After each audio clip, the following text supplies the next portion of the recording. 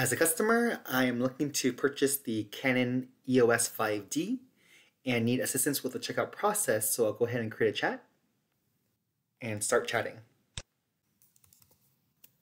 So I'll go ahead and click this link to start the co-browse session.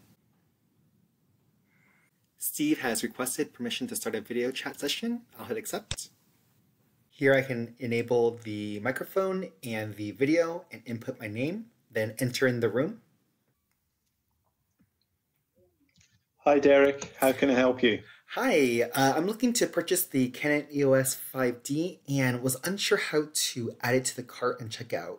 All right, so um, let me just turn on some highlighting tools here. So this is the item in question. Mm-hmm. And just under there, you should see a add to cart button.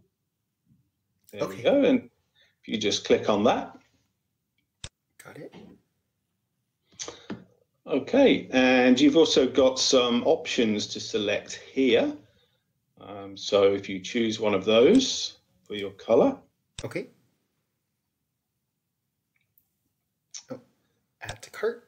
And add to cart. And now the uh, cart is up here in the top right. So if you click on that, it should allow us to close out. If you're happy with those details, the price, then click on checkout. So here you've got an option of if you're a returning customer to enter the password.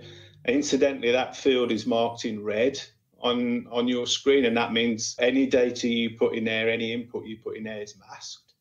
Um, so you can log in there privately without me seeing anything or you can check out as a guest. And again, that will ask you to fill in some personal details, address, and all that information will be masked as well. So I won't be able to see that.